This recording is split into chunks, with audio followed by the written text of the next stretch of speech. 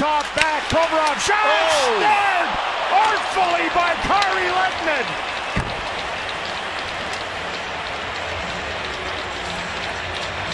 Wow. Well, I wanted to say that that was the save of the game so far in the second period, but this is taking precedent right here. How he sees through three players and uses every inch of that six foot four body of his to get across and snag that out of the air. Wow. That's what I miss about modern net minding.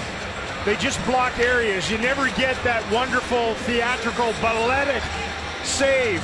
Got it that time by the left hand of Lehtonen.